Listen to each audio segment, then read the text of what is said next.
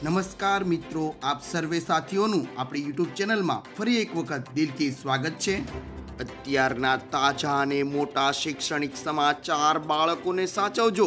હવે આવ્યો નવો રોગ બાવીસના મોત અને આવી આફત. વિદ્યાર્થીઓ અને વાહન ચાલકોને મોટી ભેટ જેવા સમાચાર જાણતા પહેલા, તમે જો ચેનલમાં નવા હો તો ખાસ મિત્રો આપણી ચેનલને સબસ્ક્રાઇબ કરી લેજો, કારણ કે રોજના તાજા અને અગત્યના આખો દિવસના સમાચાર સમયસર અમે તમને આપતા રહીશું. વીડિયો ગમે તો લાઇક કરી દેજો અને વધુને વધુ તમારા મિત્રોને મોકલી આપજો.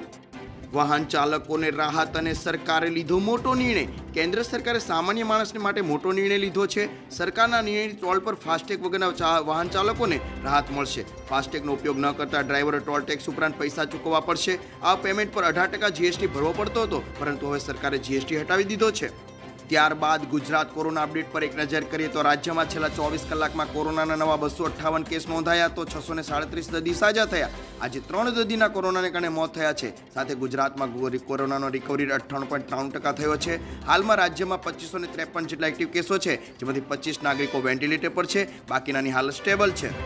બાળકોને સાચવજો, ભારતમાં વધુ એક નવો રોગ ફેલાવાનો ભય છે. આ રોગ સામાન્ય રીતે ટોમેટો ફ્લૂ તરીકે ઓળખાય છે. આ એક ચેપી રોગ છે જે બાળકોના હાથ, પગ અને મોં પર થાય છે. એક રિપોર્ટ અનુસાર ટોમેટો ફ્લૂનો કેસ પહેલીવાર છઠ્ઠી મેના રોજ કેરળમાં નોંધાયો હતો. અત્યાર સુધીમાં બ્યાસી બાળકો તેનાથી સંક્રમિત થયા છે. આ રિપોર્ટમાં જણાવ્યા અનુસાર આ તમામ બાળકોની ઉંમર પાંચ વર્ષથી ઓછી છે. આગળના શૈક્ષણિક સમાચાર, વિદ્યાર્થીમાં આનંદો અને સરકારની મોટી ભેટ. લોકોને તબીબી શિક્ષણની સુવિધા મળે તે માટે સરકાર પ્રયત્નશીલ છે. જેના ભાગરૂપે જન્માષ્ટમીના પર્વે કેન્દ્ર સરકાર નવસારીને એક મોટી ભેટ આપી છે. મોદી સરકારે નવસારી જિલ્લામાં મેડિકલ કોલેજની માંગ પર મંજૂરીની મોહર મારી છે.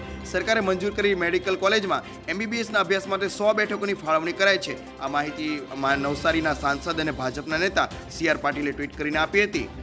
આગળના સમાચાર, મોડી રાત્રે આવી આફત અને બાવીસના મોત. હિમાચલ પ્રદેશમાં વાદળ ફાટવાને કારણે ભારે ભૂસ્ખલન થયું છે. રાજ્યમાં છેલ્લા ચોવીસ કલાકમાં ભારે વરસાદને કારણે ભૂસ્ખલન, પૂર અને વાદળ ફાટવાને કારણે બાવીસ લોકોના મોત થયા છે, જ્યારે છ લોકો લાપતા છે. ભારતીય હવામાન વિભાગે કાગડા, ચંબા, બિલાસપુર, સિમોર, બંડી જિલ્લામાં છૂટાછવાયા સ્થળોએ ભારે વરસાદની ચેતવણી જારી કરી છે.